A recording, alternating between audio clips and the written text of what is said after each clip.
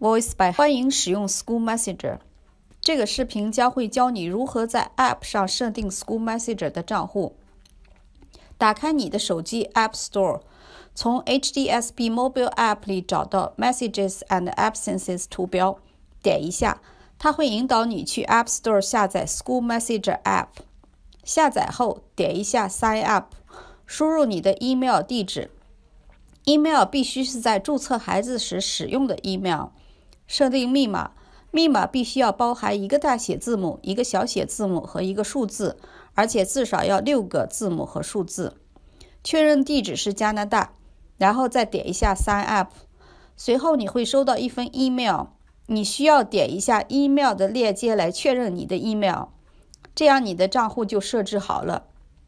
使用你设置好的 email 和密码，点 Login 来登录。第一次登录，它会显示让你输入你的姓名和父母或者监护人的身份。这些都输入完以后，你就可以使用你的账户了。